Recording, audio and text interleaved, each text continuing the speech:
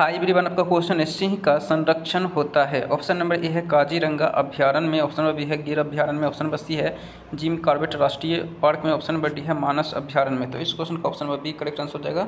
गिर अभ्यारण्य में ठीक है सो थैंक यू